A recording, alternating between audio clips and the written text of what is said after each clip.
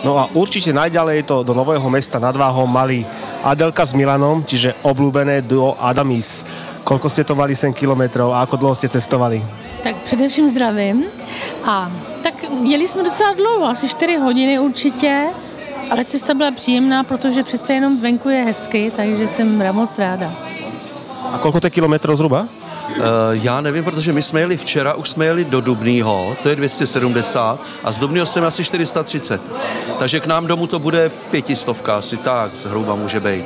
Tak si zajazdíte. Dnes sa tu, dnes sa tu natáča prvý pilotný diel pesniček z kasína. E, Poznáte piesen Otvárajte kasíno?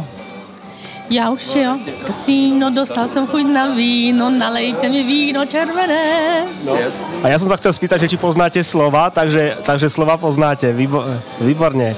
Tak, To je stará písnička. áno, áno, je to, je to veľký slovenský hit. Milanko, teba sa opýtam, teda e, Otvárate kasíno je veľký slovenský hit a ty si tiež známy hitmaker. No, tak tie, tak tie hity sa mi, sa mi zdá, že ľudí oslovili. Chystáš niečo nové? Určitě, určitě. Teďko do Zlatého šlágru máme písničku jednu. E, neprozradím, ani název neprozradím, to je Pecka. A už děláme další, jako pracujeme na dalším CDčku. Furt neustále děláme, děláme, děláme. Musíme. E, Dnes budete spievať 4 pesničky, e, ktoré ste vybrali, aspoň jednu prezrať. Já prozradím jednu speciální, kterou nikdy tak nějak moc jako nehrajeme, ale já ji mám přesto strašně rád a sem se hodí. A je to slovenský tango Skôr než odídeš.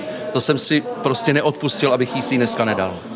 Takže túto piesen si diváci vypočujú, keď budú pozerať priamo pesničky z kasína a Adelka, ty vyber pieseň, ktorú si diváci vyberú teraz, v, boli sme pri tom. Tak tancuj se mnou dnes. Dneska se určitě bude tancovat, takže tancuj se mnou dnes. Takže to bol Duadamis.